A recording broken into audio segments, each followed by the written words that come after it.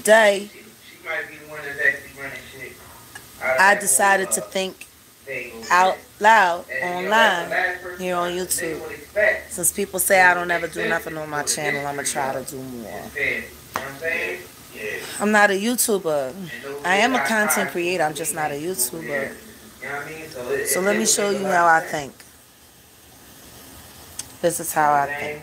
And you know, you don't really hear a lot of people mentioning mentioning this, uh, but the thing is, after what Nate You know, said, when you think, like shit, she's starting to make you should sense. always have your tools close by. About, you know what I mean? Who, Especially, who, who, who make sure you always have a little protein. Yeah, who she used to deal it's my that. hunting knife, my lighter, You know what I mean? my Yeah. friend. The dad, he, you know what I mean, he used to run around with some niggas. Uh, what's the nigga name? You know what I'm talking about? What did May say? May said basically everything is in the mom's name.